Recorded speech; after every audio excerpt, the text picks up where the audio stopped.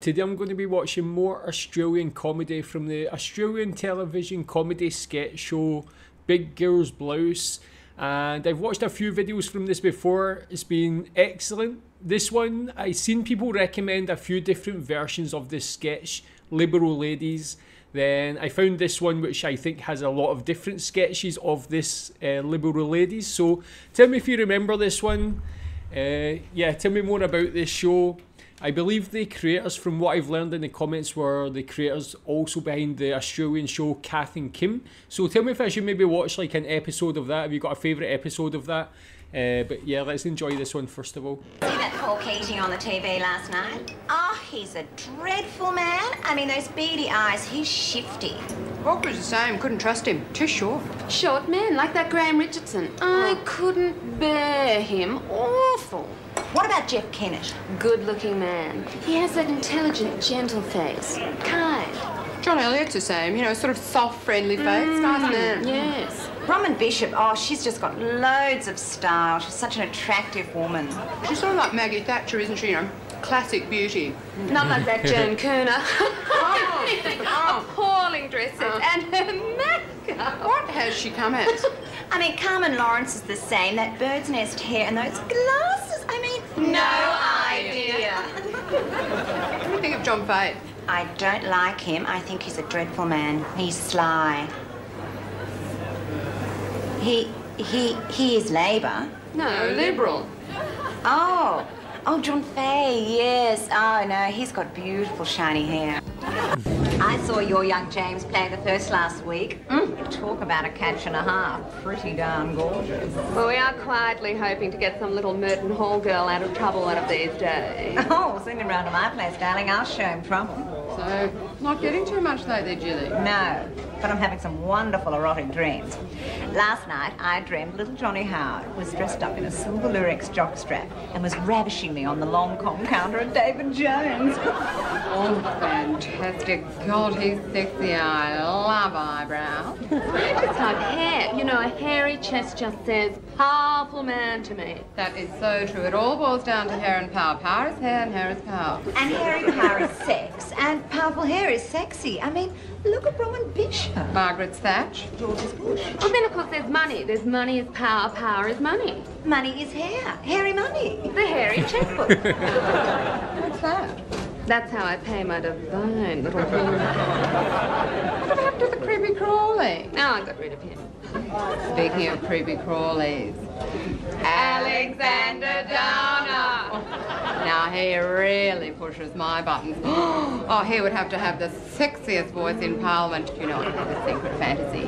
Him in a schoolboy uniform reading the Liberal Party tax policy. So erotic. Okay, lady. When you're in bed with your husband, who do you fantasize about? Jilly? Well, besides little Johnny Howard, I'd have to say Peter Reith. Di? Tim Fischer, the quiet achiever. B. Bronwyn Bishop. Only once. Almost brand new. Yeah, tell me about these characters. Are these like a a good representation of this type of person? Do you know anybody that was like this or is like this? Guess it's like a parody or a satire of those more well-to-do women. This is how they spend their time sitting around gossiping and things like that as well. I guess a lot of these things they're talking about, the people are probably well known in Australian culture at this time. Tell me more about them. And yeah, tell me just what you think about these characters. Very enjoyable to watch so far. All right. Now, listen, what do you want on these, Julie? Oh, yes, they're my takeaway food containers. Uh, Thai food came in those.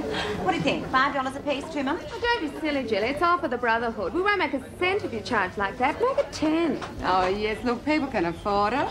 You know, my Jeremy was caught as one of those hedge burners. Now, I tried to be mad, but I had to laugh. I did think it was hilarious. Oh, look, I've got a real soft spot for Jeremy. Great sense of humour. Yes, he's a real rebel, isn't he? And I love that in a boy. No, no, no, that's one dollar each. Not one dollar for the lot, one dollar each. You speak English? That's telling him, Di. Good for you. You've got to be tough. It's been a tough year for all of us. I mean, we had to get rid of the house in Sorrento.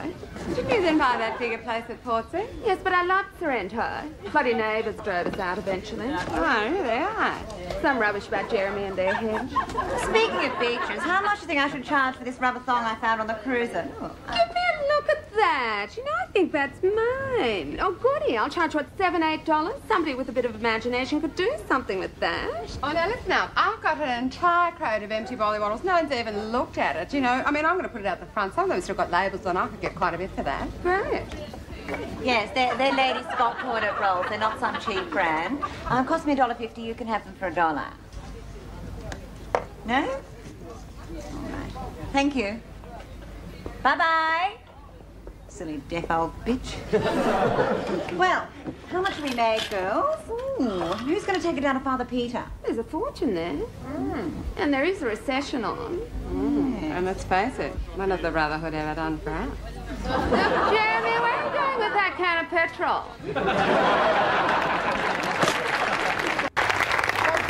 Like right inside the trees. Both liberal. Hello. both liberal. Hi, guys.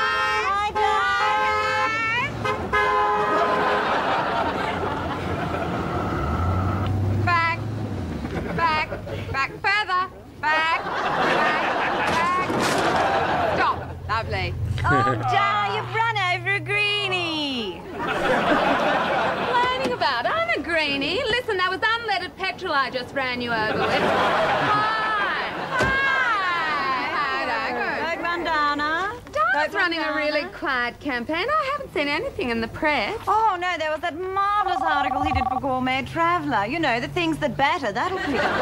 Oh, no, bad luck. Hang on, ladies. Little Exodana's out. It's vote one hard now. Oh, Oh, well, cross that down and put in hard. Vote one hard. Vote These one accents hard. are- Oh, really? Now, hang on a minute, Fee. Amazing. Uh, Howard's out. There's been a spill peacocks back here. Oh, oh who's Susan? Yes, I guess so. She's not Peacock, she's from New. Oh, Or is it Sangster? No, just right, Susan. Vote one, Susan. Thank you. Oh, really? Yes. Oh, girls, hang on a minute. That was Dame Pattie. Apparently they've resurrected Robert Menzies and he's running again. Oh, my goodness, with that a bit of stability. Yeah, Vote that- one, Pig Iron Bob. Yes, thank Yes. Oh, really? Great. Okay. No, no, hold your horses. Apparently Harold Holt's been found on some beach in Japan and he's reclaimed the leadership. Now, is he a wet or a dry? I don't know. Depends if he had a towel, I guess. you. Vote one, Holt. Tell me more about those politicians though. Double bay. Yes, all right. Thank you. Little Jake got into my purse the other day, stole five dollars. So did you tell him off? No, I said, listen, darling, there was twenty dollars in that purse. Why didn't you take that? I said, for heaven's sake, if you want to be a stockbroker when you grow up, you've got to learn to rip people off bright and early. Must be right in the thick of final exams now. Oh, yes, he's great, you know, not studying a bit, of course. Always got something on, you know, rugby, rowing, cricket practice, and of course all the end of your parties. What's he hoping to do when he finishes? Oh, God knows, he's academically hopeless, loves to drink, and he's a great bullshitter. so, politics, Yes, that would be the Actually, we're very worried about our Sophie. schoolwork. Mm, straight A's in every subject. Always got ahead in a school book. I don't know who she takes after, not me. You know, she wants to do medicine, which is great, you know. But I said, listen, Soph, you have got to have something to fall back on. Oh, no, quite right, Diamond. She's got to put in the hard social slog now, you know, get in with the right crowd, meet the boys from the big families, the values, the offer. Mm. Little James Packer's going begging. Well, I have told her this. She simply will not apply herself. I don't know, I just despair for her future medicine. Let's just pray she meets a nice doctor. Oh, it's Soph now, Di. Five next birthday. The time is ticking away. That was so good. Yeah, like again, I feel like these characters will probably be relatable. I'm sure in the Australian political scene, you'll know of people who support parties who are like that, have those personalities. Again, with this being very Australian, those accents sounds like they're like posh wherever they're from. I mean, they, they obviously are the way they act, the houses, the dress, the the accents, everything. so upper class and posh. So very good satire of that type of person. I'm going to guess. Tell me, being Australian again, yeah, how good are these characters? Again, excellent acting acting from the actresses. Again, I need to check out Kath and Kim Seen people mention that a lot in the comments. So tell me again, yeah, if you got a favourite episode, should I just watch the first episode, something like that? Uh, and yeah, tell me what you think about these liberal ladies. Thanks.